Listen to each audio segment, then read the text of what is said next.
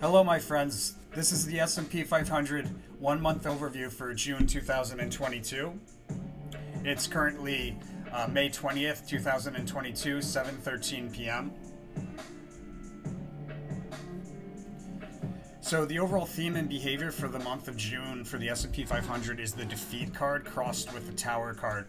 The defeat card is a failed attempt to break through a key resistance level, followed by a decline through a key support level, um, and then it's crossed with a with the tower card, which um, doesn't bode well for the month of June. Um, so we should be seeing an like early in the month we should see a high. Uh, and that's where we'll be testing a resistance, and then we should see a low late in the month um, based on that, those two cards alone. So let's take a closer look here. On the first, we have a move higher from a support level all the way to a resistance level. So like one full range is is move, there's a move from through one full range, um, but it does imply that there is a decline um, that this move higher comes out of. It is a substantial move move to the upside, and then the following day on the second, we have a substantial move back down. Uh, you know, on a, on a monthly chart, it would be a notable move downward. All right, we have two trade opportunities the day of Mercury Direct, which is June 3rd or Friday the 3rd. Um, yeah, so there's going to be fluctuation throughout that day. Um, we have a trade opportunity around a peak up through a resistance level and then back back uh, shortly thereafter back down through that same price level and there's a trade opportunity in there as well as a trade opportunity when we dip below a uh, support level, and then we climb back to meet that support level. So we like fall to a support, dip through it, and then we climb back up to meet to to be above that support level that, that it ends up holding. Um, and we should see those two two uh, those two circumstances take place on the third, both of which is a trade opportunity. Um, and we should see a local high on that day, one local high on that day, which is reached through some sideways fluctuation with a bullish um, slant to it.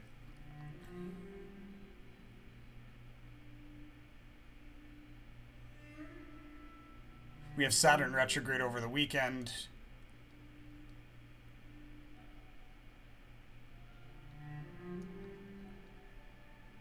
Looks like there's an important trade here. There's an important trade here on the on the third either at the end of the day on the third or, or early on the um, on the sixth, like early morning on the sixth. But we do have a high correlator here uh, for for the sixth, for Monday the sixth, um, and it goes hand in hand with the card, which is um, a uh, it's the pleasure card. It's it's erratic behavior around a price level, so back and forth through it. Um, but uh, we revisit a crest in that erratic behavior, and that crest was a prior good opportunity not necessarily a good opportunity this time around, but it was a good opportunity. Um, and it's also crossed with the um, the tower card, so we should see a notable decline in there somewhere. Possibly it's over the weekend, and then we push higher. Um, we're range bound on Tuesday the 7th. Another month's high correlator on the 8th. So we should definitely be seeing a high, uh, a month's high somewhere here between the month of, uh, or between the, the week of the 6th and the 10th. Uh, we should definitely see the see a month's high in there, a notable high there. Um, and then we have the disappointment card um, on the Wednesday the 8th in that in the midst of that high that month high correlation um, looks like probably at the end of the day is that high, and there's uh, it looks like we're going to break through resistance. Everybody's expecting us to break through resistance, but for whatever reason we don't. We turn around and we decline through key support level, um, and that's the disappointment. Um, yeah, we have the unicursal on the 9th.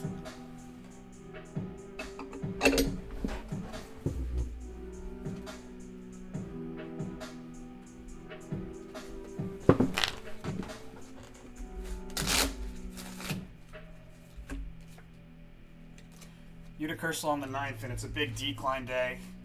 We revisit um, past problems. Uh, and it looks like we have a month's low correlator here on Friday the 10th. There's two local highs, a local low. Um, there's two local highs and a local low here on, on, Monday the 10th. It's also an opportunity to position oneself on both sides of the market. So I'll be opening up calls and puts on this day. Uh, so one, at least one, and what I mean by local high is when you look at the day's chart for the 10th, you're going to see two prominent highs and a prominent low in there. Possibly a second one based on this. I haven't quite figured out how to read, like if if it necessarily combines with a local low or if it's considered a separate low. I, I have to look into that further, but um, at least one prominent local low um, and two local highs. Looks like we have a high at the beginning of the day, um, and then one of those local highs is going to be a fake out. Uh, at least one of those local highs is going to be a brief. It's we're going to be at that level briefly, and then we fall sharply from that level. Um, out of the local low, there's a big move to the upside. Looks like over the weekend we get a big push higher, um, and we gap up notably uh, on the 13th but that's a there's a big decline on the 13th. So we gap up with notably higher, uh, possibly a month's another month's high, um, but we fall we fall deep into that. Uh, we fall deep out of that high into the end of the day. We have a low.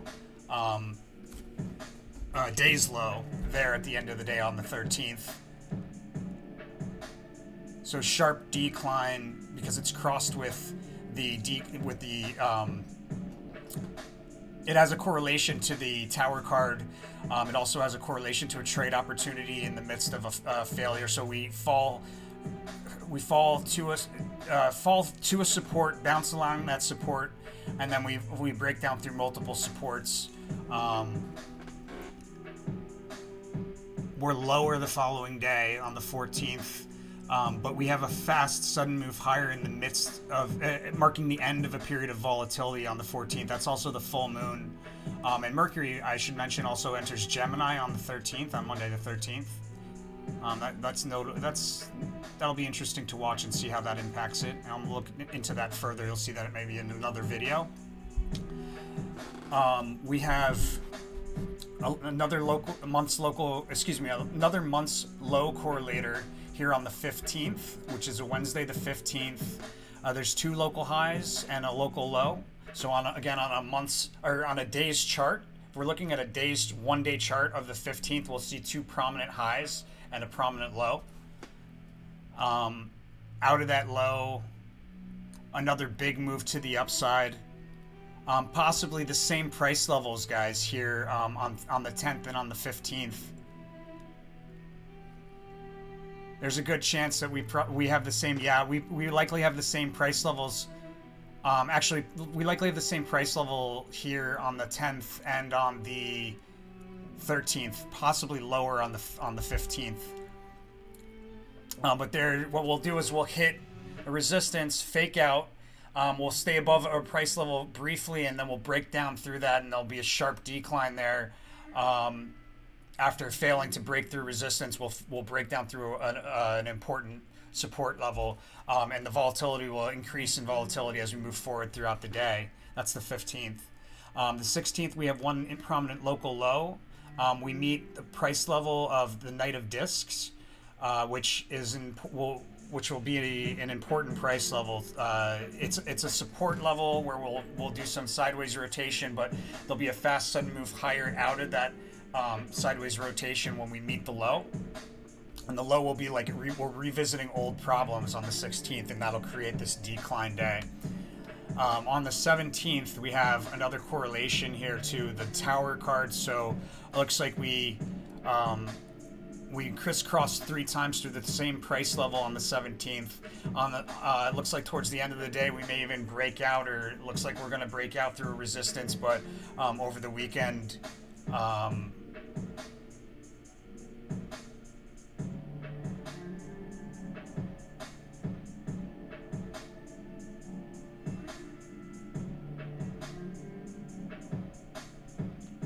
either it looks like we either have a decline from that resistance level most most likely we have a sharp decline from that resistance level towards the end of the day on the 17th. Um, the 20th is a little interesting, huh? The way that it fits into this. Um, well, there's definite there's there's going to be a definite reversal. If you look at it on a one month chart, there'll be a notable reversal that takes place that day. Um, looks like we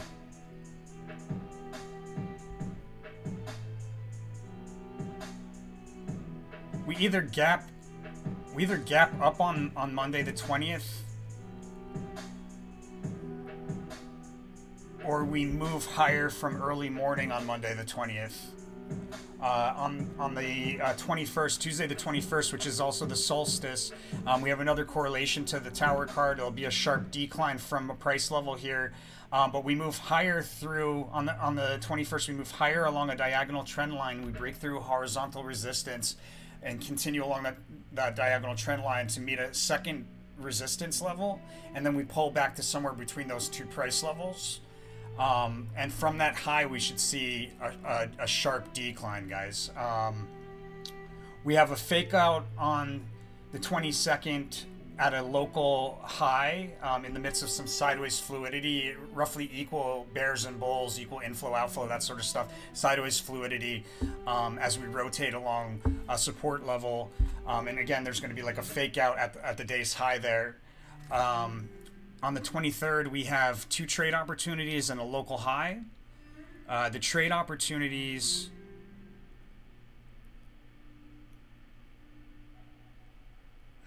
Interesting. The trade opportunities have to do with some. There's something going on there that has to do with an agreement between two two leaders. I want to say party leaders there. I don't know why, but um, so the local high forms after a period of sideways fluctuation with a with a upward uh, slant to it. Um, there's a trade opportunity when we move through a resistance and then we come back down briefly thereafter through that same price level, and another trade opportunity in the midst of a decline having to do with something something to do with um, an agreement of some kind between two two leaders. The, the overall uh, behavior for the 23rd is going to be a sideways S, two declines with an incline in between. So, like uh, like this, sideways S um, and it'll be between a resistance and a support level. On the 24th, we have a high correlator, uh, month's high correlator again there. Um, depending on what happens here on the 16th, or sorry, depending on what happens here on the 17th and the 20th, like that weekend, because it's a little bit hard to read.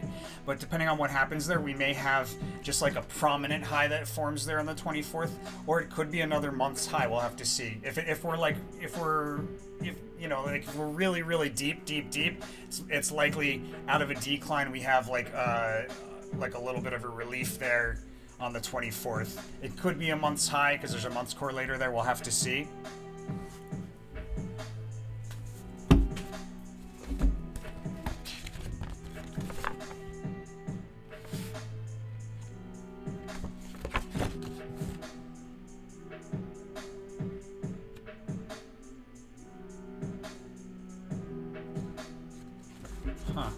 Okay, definitely want to buy protection there on the 28th.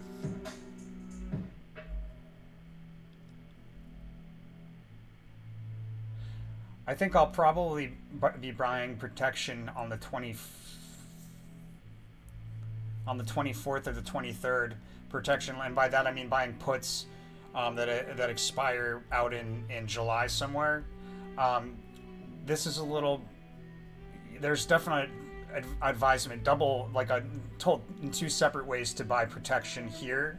Um, I'm seeing a month's high correlator here though, so somewhere here at the end of the, the week that ends in the 24th or early on the week of the, the 27th, but um, we'll have to see when we get closer. There is a notable decline um, on on the 27th from a from a local high, which is a fake out as well.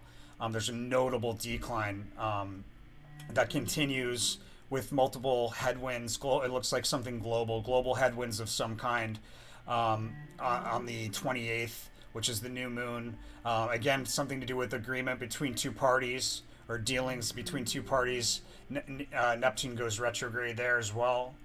Um, and then here on the um, on the 29th is where I'm getting this double advisement for protection.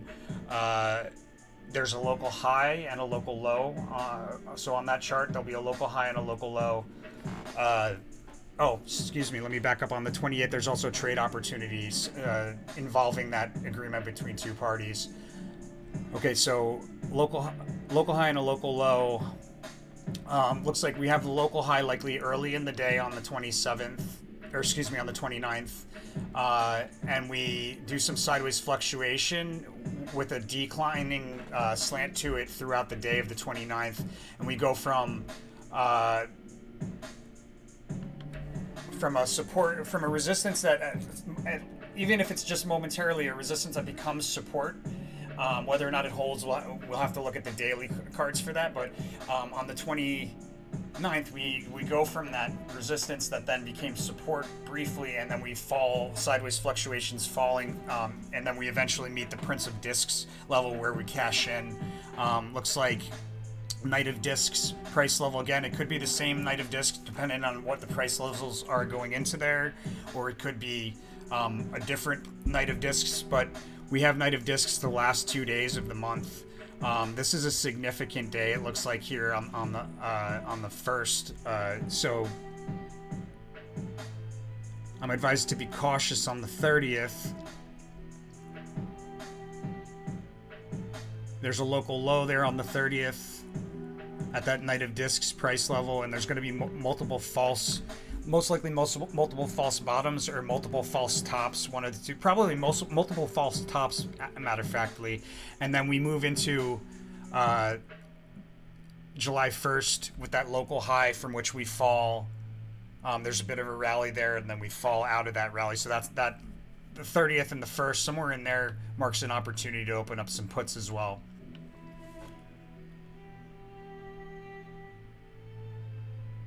Yeah, I'm I'm being advised to cash in on long any long positions that I have short-term long positions that I have, you know, uh, swing trades, if you will. I'm being advised to, to cash in on those somewhere here around that high on the 23rd or the 24th.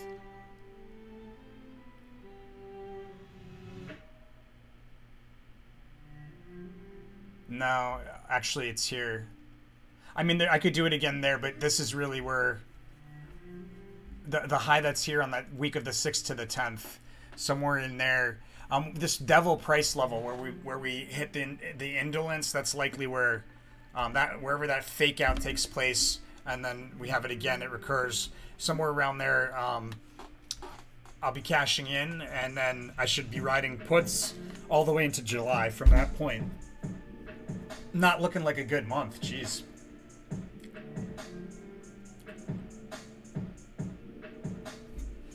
All right, guys. So that's um, the S&P 500 for June 2022. Uh, thanks for signing up for the uh, free newsletter. Um, let me know how you like this, guys. You can always um, reply to the emails, or you can hit us up on social media. Um, let me know if you like this sort of stuff. Let me know how we can make it better. Let me know what else you want to see. Um, I'm doing this to really prove to you guys that anything is possible. You guys pay attention to the stock market. It's kind of fun, you know. Plus, nobody else on the planet seems to have figured it out yet. So you know, that's why I'm doing it. You tell me what, what's going to blow your mind, and I'll see what I can do. Um, until then, my friends, good luck. Hit that subscribe button, and I'll see you on the next one.